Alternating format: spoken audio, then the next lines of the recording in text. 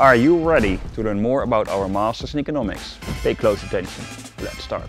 The study program of the Masters in Economics will cost you one year of your life. You will need to work smarter and harder. But let me tell you about the return on your investment. If you work hard, you will get 60 credits. You also get to play hard by picking your own course schedule. The program has two semesters, each with three blocks.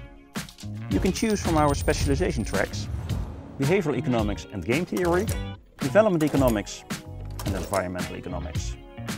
We also have international finance and trade, monetary policy and banking, and finally public policy. All courses will be taught in English by academic and corporate staff. Our corporate staff includes experts from the Dutch Central Bank, including the president himself.